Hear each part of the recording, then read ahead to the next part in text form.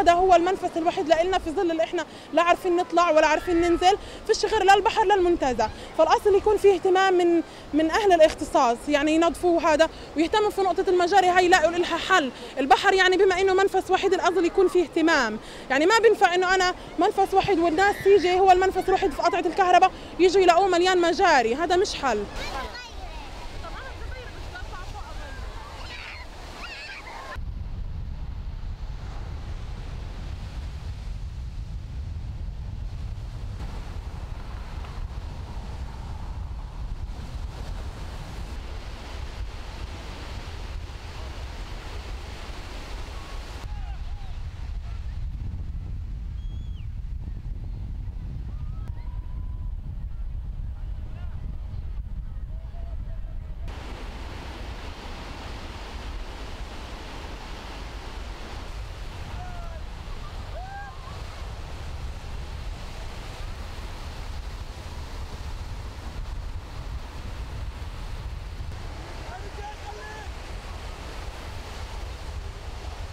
خصوص يعني على سبيل المثال في رفح كان في مصرف لهذا بالنسبة لطول الشاطئ الملوث في آخر فحص أجرته سلطة البيئة وكان هذا الفحص في شهر أبريل الماضي آه، بلغ طول الشاطئ الملوث إلى غير الملوث حوالي 60% الملوث.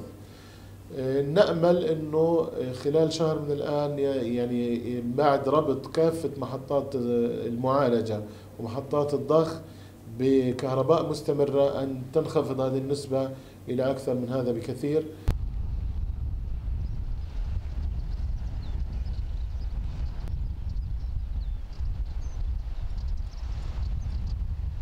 دائما بن- بنوعي المواطن عدم السباحة بالمياه الملوثة بالمياه العادمة.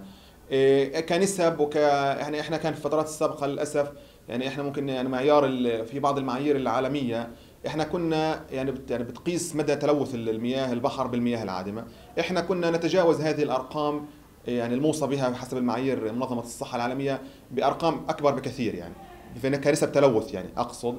لكن آه، في الف- الفترات الحالية بدأت التناقص التدريجي لموضوع التلوث مع إن شاء الله بدء بتشغيل مضخات وبدء وصول الكهرباء بشكل أفضل للمضخات. لكن كما يعني أشير لم نصل إلى مرحلة مثالية.